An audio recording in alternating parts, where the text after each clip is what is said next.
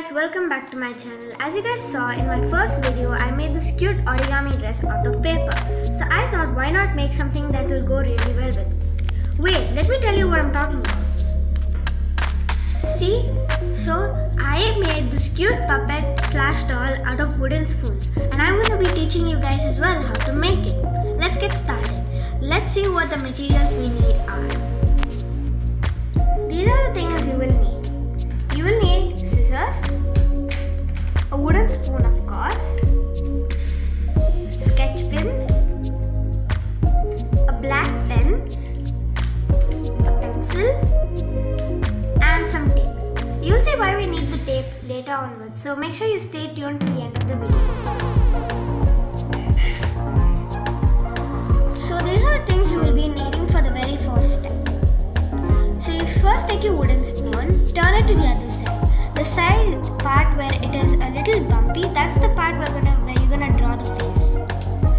So you're gonna take your pencil and first trace out the face features.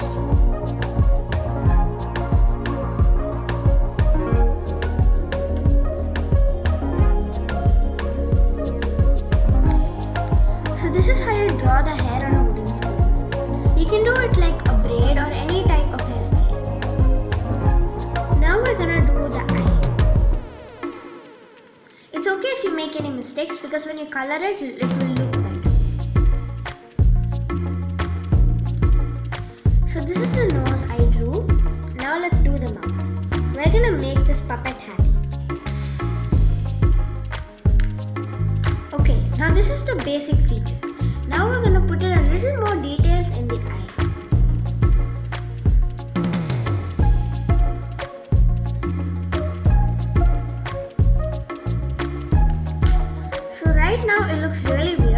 Trust me, once you color the eye in, it will look way cuter and better.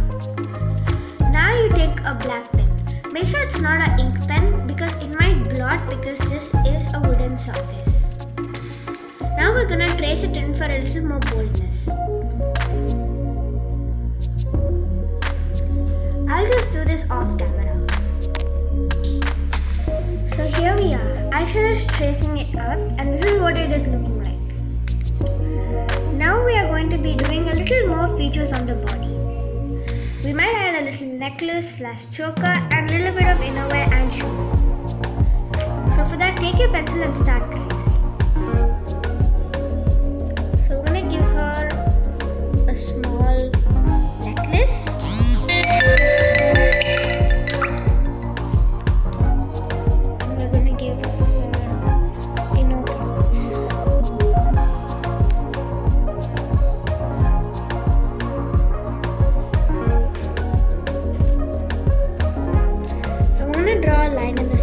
Just to separate the legs.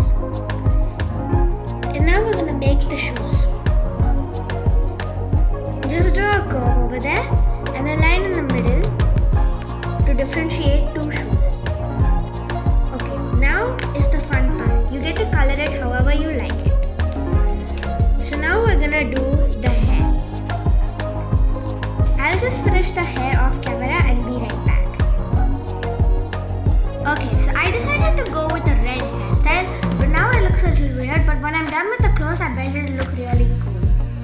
So now we're going to color in the innerwear as the color of her dress. I wanted to make her color of the dress green, so we're going to put her innerwear color as green. So I chose these two types of green. I think I want to go with this green. So I'll be right back. Okay, so I colored in the innerwear green and colored the shoes red to match with her hair. Now I'm gonna do her jewelry. So for the jewelry, I wanted to go with this cute pink. So let's just do it. Okay, there we go. That looks really cute. Now to get her face to a little bit more volume, we're gonna add a little bit of blush using this cream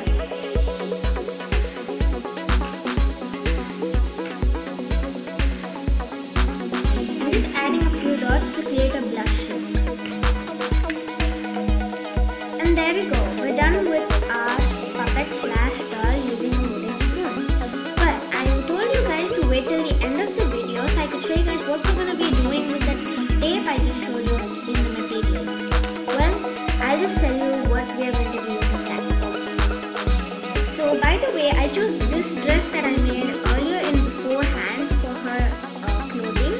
So for this, in the back side, I added a little bit of tape so we can add her inside the dress. So that is what you will be needing the tape. I already added it in beforehand. So now you see, it looks really cool. So let's add her in. I'll show you guys how to do that. So you first turn her around and then the piece of that? Just insert it like that and press so it will stay pretty secure. And there we go. We are done with our cute little puppet doll. So thank you guys so much for watching. Hope this video helped you creating dolls and recycling at home. Please make sure to smash that subscribe button and give this video a big thumbs up if you liked what I did. Bye!